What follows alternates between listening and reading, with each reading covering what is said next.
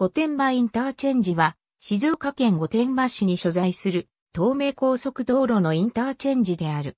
東名高速道路の最高地点である。東京方面からの利用が多いため、複数の出入り口がある。静岡県道401号御殿場箱根線に接続。上下線とも利用可能。高速バスの御殿場バスストップを併設している。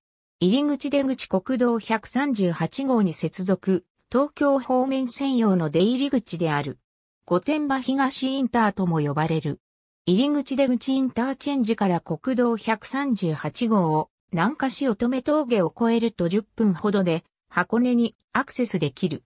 また、国道138号を北西方面に向かうと、東富士五湖道路須走インターチェンジ経由、または、籠坂峠経由で30分ほどで、山中湖へもアクセスできる。さらに、富士山へのアクセスルートともなっている。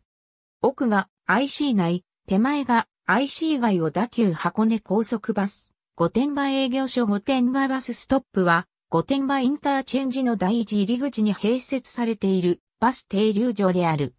案内上の停留所名は、東名御殿場、箱根地区のバス路線における停留所番号は565。